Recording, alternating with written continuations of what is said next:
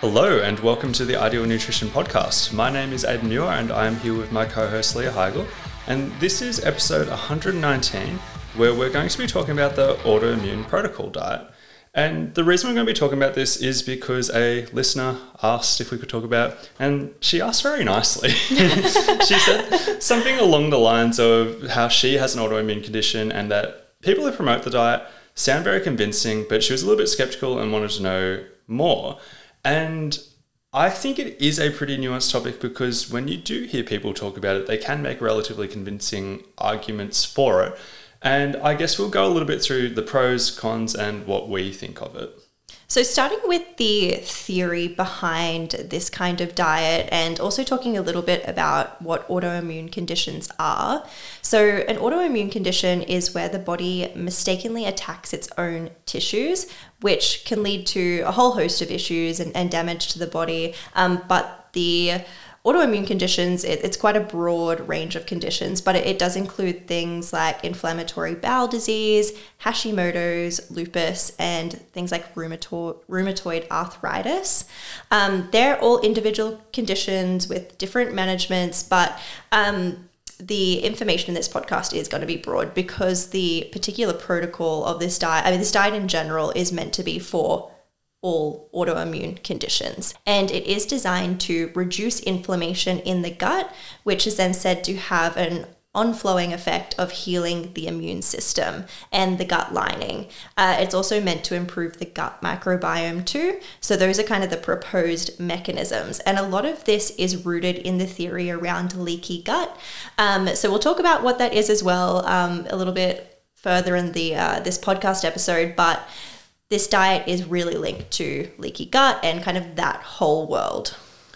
So it is a bit of an extension of the paleo diet, but a little bit more rigid than the standard paleo diet. It is like a paleo diet crossed with an elimination style diet. So, like most elimination diets, it goes in the process of elimination, reintroduction, and then a maintenance slash personalization phase.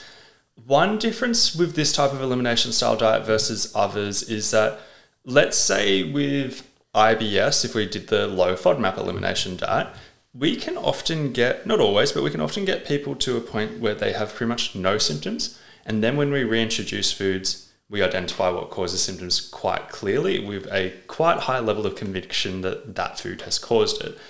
It's the same kind of logic here, but even a lot of the people promoting this are quite transparent in saying that like this won't always solve your symptoms completely. A lot of times it's just aimed at a significant improvement. So that's also how they go about this whole elimination reintroduction, where you reintroduce foods one one at a time, and you see what identifies triggers, and you can kind of figure out what could be causing symptoms for you personally. Is the logic behind this. And they also say, once again, from this kind of transparent way of thinking, is if you don't see symptom improvement within two to three weeks of the elimination phase, the diet didn't make a difference and it's fine to stop. And I think that's a pretty logical way of looking at it as well for any form of elimination style diet. And another thing I should be clear on is there's no specific autoimmune protocol diet in that there's multiple variations of the diet because it depends on who is talking about the diet, what their personal beliefs or what the diet should look like, and everything like that. But there are a few common themes. And one of those common themes is that it is a very nutrient dense diet, which is a huge advantage and it is something that we'll come back to. In terms of the specific foods, hard to do this over podcast. So I'll talk a little bit about it, but we have included a list in the show notes if anyone is interested rather than going so much through the foods that you can eat, although that's obviously something that the people promoting site will spend a bit of time focusing on, I'm going to talk about what it is that you need to avoid on the elimination phase of this diet. So you need to avoid all grains, eggs, legumes, um, all nuts and seeds, and seed oils as well. Nightshade vegetables you need to avoid as well. Um, all dairy products and spices that are derived from seeds or derived from nightshades as well. And you also need to avoid most artificial sweeteners, most added sweeteners in general, um, most food additives, and also alcohol and coffee as well. So there's quite a long list of things to avoid during the elimination phase. Before jumping into the research, we're going to swing back around to leaky gut and its link with this diet protocol. Um, so let's do a little bit of a summary of leaky gut. Now, this can be a complicated topic because leaky gut, as it like as a standalone diagnosis, is not recognized by the medical field, but it is recognized by more natural medicine professionals, so things like naturopaths and homeopaths.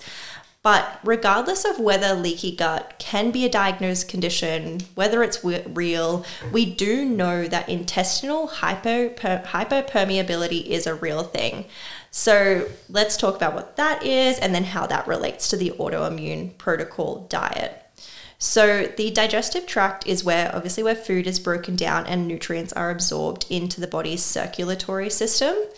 The human digestive system is really tightly regulated in regards to what can actually pass through into the blood. There are small gaps in the intestinal walls called tight junctions, and that allows water and certain nutrients to pass through, obviously, so it can be absorbed into the bloodstream. But larger particles like toxins and bacteria and other things are usually prevented from passing through into the bloodstream. But when intestinal hyperpermeability is present, these tight junctions are not as tightly regulated. So these larger particles can then pass through into the bloodstream, um, and that is what is quote unquote leaky gut. Um, so these terms can kind of be used interchangeably, and we do know intestinal hyperpermeability is a thing that happens, it is a physiological thing that does occur. What we're not sure about, and what is the big question mark, is like, is leaky gut the cause of certain conditions, um, or is it just a kind of a symptom of certain conditions? So, how it links to the autoimmune protocol diet is that basically certain dietary things have been linked to leaky gut or intestinal hyperpermeability. And the thought is okay, if we can then heal leaky gut through what you consume from a diet perspective, then it might heal the autoimmune conditions that it's potentially causing. So that's kind of the link there. So there's no research directly on the intestinal permeability side of things with the autoimmune protocol to the best of my knowledge, but we're going to explore the general research that exists on the AIP diet. So we only have three relevant studies to the best of my knowledge that are published as of right now in 2023. Um, the diet has been popularized since around 2011 slash 2012. Um, paleo has been popular since around 2002. So that adds a bit of context in regards to research we have around that. I like to add context on that for two reasons. One, 2011 to slash 2012 means it hasn't been around for like ever, um, but it has been around long enough that if something's like super super effective, often we'd be seeing quite a lot of studies on that, um, which gives away a little bit of stuff. But I won't go through each study individually. So the first study was in 2017 and it was titled Efficacy of the Autoimmune Protocol Diet for Inflammatory Bowel Disease. It was an 11 week study in 15 people with inflammatory bowel disease. Um, some of them had Crohn's, some of them had ulcerative colitis, so it wasn't just unique to either of them specifically. Um, they followed the autoimmune protocol diet. They, the participants all reported experiencing significantly fewer inflammatory bowel disease related symptoms by the end of the study. However, there were no significant changes in markers of inflammation that were observed. Obviously, one of the arguments for this diet has been a reduction in inflammation, but there was no change in markers that were observed. Um, a few other interesting points of those 15 people, three had vitamin D deficiency and six had iron deficiency at the start of the study. Those nutrients were supplemented as well, so that was an additional kind of benefit that they were given. Participants were also given two books one was a paleo approach, or one was called, sorry, the paleo approach by Dr. Sarah Ballantyne. Um, I spent a lot of time on YouTube watching her videos just to get my, like, just to get both sides of this kind of like um, discussion as well. So she's one of the leading kind of proponents of this. The other one was called the Autoimmune Wellness Handbook by Mickey Trescott. And clinical remission was achieved in six weeks, which was the elimination phase, in 11 of the 15 participants. That's 73%. That's huge. For context, there is a diet called the Crohn's disease exclusion diet, which is practiced in hospitals where they feed people nasogastrically, and about 80% of people go into remission on that diet. So, like, that's a nasogastric feeding kind of tube where all the food is provided. They have no choice apart from giving the diet they're given. Whereas, to the best of my knowledge, in this study, they were just eating as free living individuals. So, like 73% remission rate is pretty solid. And once again, key point all participants experienced improvements in their symptoms, even if remission wasn't achieved in 100% of people. The second study was basically just a repeat of that study. So it was done in 2019, same thing on inflammatory bowel disease. Another 15 people did the same thing. Once again, they all reported significant improvements in things like bowel frequency, stress, and the ability to perform leisure or sporting activities as early as three weeks into the study. So they noticed improvements pretty quickly. Won't spend too much time on that because that's pretty much the same study as the first one, but it's just cool to have a repeat of that study. And then the third one, it was on a different um, autoimmune condition. So this third one was on um, Hashimoto's, so a thyroid condition, and it was done in 2019 as well. They had 16 women with Hashimoto's follow the autoimmune protocol for 10 weeks.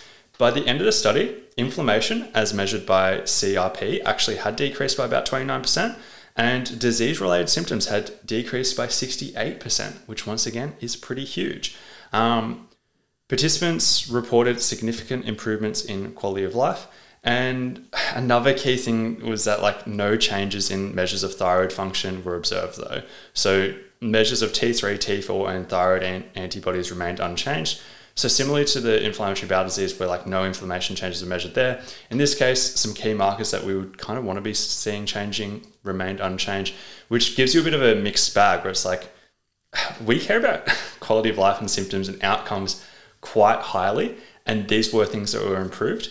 But some of the key kind of things that you would kind of expect to change alongside that didn't change alongside that, which makes these studies interesting.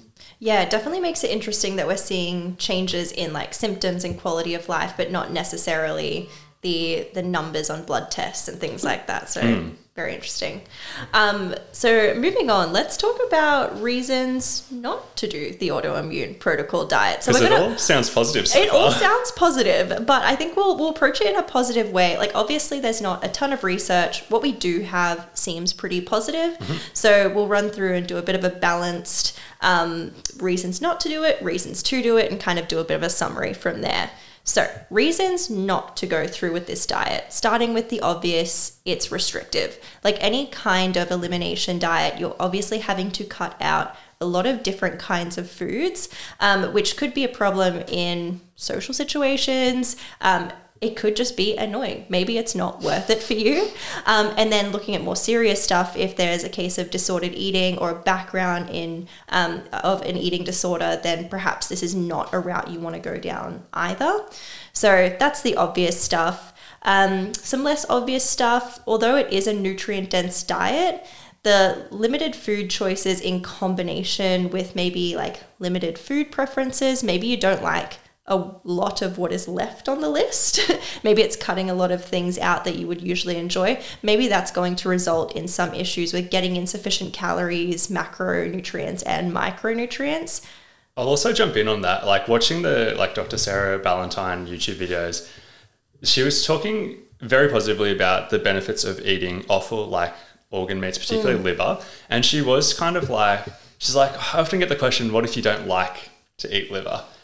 And she's like, but you've still got to do it. Like you've still got to do like you still like I know it sucks, but like you've yeah. got to get it in. You've got to get in three to three to four times per week on this diet. Yeah. And just kind of like left it there. And like I get what she's saying, but then it is coming back to being like, there is fussy food preferences like some people it's hard to get to eat vegetables to start off with 100% i feel yeah. like asking people to eat those kinds of like organ meats and and whatnot is it's a hard sell because most mm. people are not wanting to to try that but that is part of what makes this dietary protocol so nutrient dense so like yeah. you'd be missing out on potentially a huge, a huge factor. factor yeah um so yeah that's definitely something to consider Something else to think about is that we also see benefits from other dietary changes that may not be as restrictive or as intense as this whole autoimmune protocol diet. So, a good example of this is a 2020 systematic review on nutrition for lupus specifically, and that found that a low calorie, low protein diet high in fiber, omega 3, omega 6 polyunsaturated fats,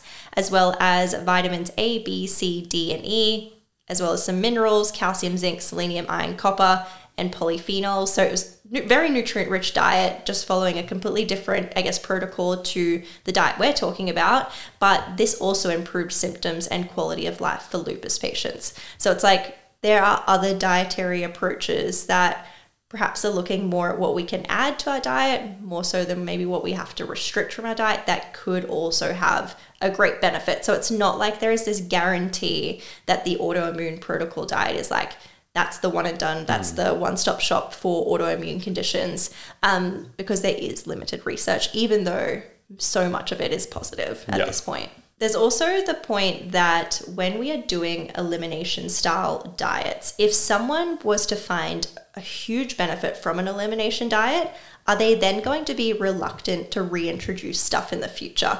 Uh, is someone potentially going to do the autoimmune protocol diet, go, wow, I feel great, this has improved my quality of life, and then just stay on that forever? And how would that then go on to affect potentially long term health yeah. with everything else they're cutting out? And like that seems like a little bit of a weird concern, but like we do see that all the time. Like I see it on social media, I see it with clients like slightly less restricted, but like the low FODMAP diet. I, I see clients who've been like, yeah, I've been low FODMAP for a year and they're still getting symptoms as well. Yes. So it's like it hasn't solved their symptoms. They're still doing it. They're still very restricted and they haven't tried reintroducing stuff, but it's partly because if they went to reintroduce stuff, they couldn't really tell because they're also getting symptoms already. Yes, exactly. yeah, like I, I just it can be a bit of a rabbit hole yeah. on its own that that yeah. particular concern, but it is a concern that we, you know, it's worth kind of adding on to yeah. this list as well. Um, we haven't touched on the flaws of the paleo diet specifically or in general because that's too mm. big of a podcast to do. But that's also something to consider. Is like there are many flaws to the paleo diet, particularly in terms of its like logic? Like, does it really check out enough for us in regards to proposed mechanisms to be worth doing at this point? Yeah, like touching on certain things, like a lot of the logic in this is based around reducing inflammation and also leaky gut stuff. And how many certain foods were excluded that may or may not have played a role in inflammation yes. to start off with. Um, there's a lot of things to think about with that. Like there could be aspects that could be refined, etc. It's like how did they come up with this list specifically? Like with other elimination style diets, you have FODMAPs. Well, all the foods that you're eliminating are high FODMAP. Yeah. Food chemical, all the foods you're they all have like yeah, a certain, logic, yeah. you know. Yeah. But it's like this list of foods, like how are we actually coming up with it? Yeah, so the opposite perspective we're going to look at is looking at reasons to try the AIP. So basically, the first thing that I, I think is an interesting way of me thinking about it is every time I open any form of autoimmune protocol diet study, like any research on it, knowing that there's also some unpublished research that I've kind of also read and had the results, etc., but hasn't been published. So there's three that have been published. There's a few other ones just floating around that haven't been published. But every time I've opened a new one, as I have gone through researching this, I expect participants to see improvements. And that's just an interesting thought, just being like, okay, this is consistent enough that every time I open a study, I assume people are going to get some form of improvement. Kind of makes sense to be like, okay, well, that's one thing that could make it a little bit compelling to try. Um, another thing is that trial and error is often involved in autoimmune conditions anyway. This is just one way of doing it in a little bit more of a systematic way, where it's like you do the elimination for like up to six weeks or whatever, and then you start the reintroduction process. Um, outside of the restriction aspect, although we talked through a bunch of reasons that are downsides, there is also minimal downside to trying it for a short period of time, like outside of the restriction aspect. Um, another very positive thing is it is extremely nutrient dense, which we've touched on. But going back to Dr. Sarah Ballantyne, watched too many YouTube videos first, so I'm just going to quote some of her stuff. But like she talks about in like her writing and her presentations that in autoimmune conditions, the body is starved for nutrients um, emphasis on the word starved. I personally wouldn't use that wording. But something we do see in a lot of research on autoimmune conditions is that it is quite common for there to be certain micronutrient deficiencies. And that potentially could increase the risk of these autoimmune conditions and or increase the severity of them as well. I think addressing them is a good thing to do regardless. And you could do that with supplements, etc. But Following a nutrient rich diet is a great place to start since it will indirectly address a lot of the stuff without you even needing to identify the individual deficiency. So, this is one, one way of doing that. Um, and using the organ meats as an example, like they are super high in things like vitamin A and a few other things that it's harder to get as much of in certain ways. So it's like that's that's one kind of benefit of this type of approach. As a bit of a summary, so like from one perspective, the research we have so far is super promising, which we have stated, particularly since pretty much everybody in these studies have noticed improvements. So maybe they didn't get a full resolution of symptoms, but most people, if not everyone, notice some some improvement. It is also a not a, not a forever diet, so it's Yeah. not something you need to stay on forever. You trial it, if it works, great. You reintroduce, you see what is triggering you specifically. You reintroduce everything else that you were previously restricting. So there's not much lost in all of this. Like I said, not something you have to follow forever. But from the other perspective, we do have minimal research. So what we have is positive, but there's still not that many studies. The studies are still quite small in regards to number of participants. So that's something to consider as well.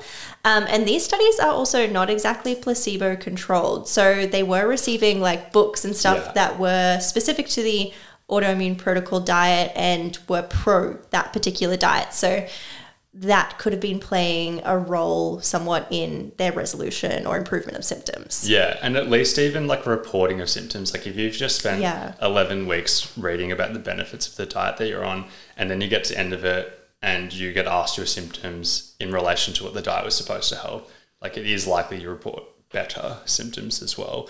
Only a small factor, but it is a factor that I think is relevant versus a lot of other dietary approaches where we have control groups and everything like that that we compare to. Um, some other personal opinion stuff just from me is this has been an option since 2011, 2012, as I touched on. And I do lean into that kind of concept of being like, if there hasn't been heaps of research published on something that's been around for over 10 years or around 10 years. Oh, actually, no, it is over 10 years. It's Getting on. Yeah, yeah, it's getting 2022. yeah, um, it's over 10 years. It, it does make you think like, why? Um, why is not there not being more effort put into place here? Um, using a condition that wasn't studied as an example.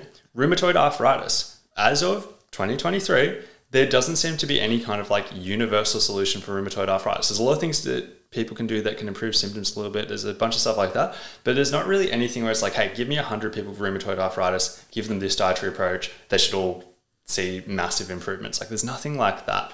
And a lot of people with rheumatoid arthritis will want something like that. And it makes you think, why isn't research being done like that? Mm-hmm. If it seemed like it was consistently going to be providing good outcomes, you'd think more research would be done. And even if I'm wrong with my interpretation there about the research side of things, if there was consistently seeing these huge improvements, it would still become mainstream anyway. Because people Yes. talk, like people talk, being like, I did this approach, this gave me huge improvements. If it's consistently doing that for a large percentage of people, you would expect that. Apart from the only downside of me saying that is like, it's a hard thing to do, this diet. It's quite a restrictive diet, yeah. word of mouth a little bit. Um, and then the final thing that I want to come back to is that whole concept of the lack of change of certain markers that are important. For example, in inflammatory bowel disease, no change in inflammation is kind of a key kind of marker. Um, so I have mixed feelings on it in terms of being like kind of restrictive, plenty of downsides we talked about. Don't want to ignore all the improvements that have been seen over those three studies that have been talked about as well, but then also want to acknowledge that they could also be achieved in many other ways. For example, as you talked about with those nutrient rich diets in general, showing improvements too, that should be factored in as well. This has been episode 119 of the Ideal Nutrition Podcast. If you haven't yet left a rating or review, it would be so greatly appreciated for you to do so. But otherwise, thanks for tuning in.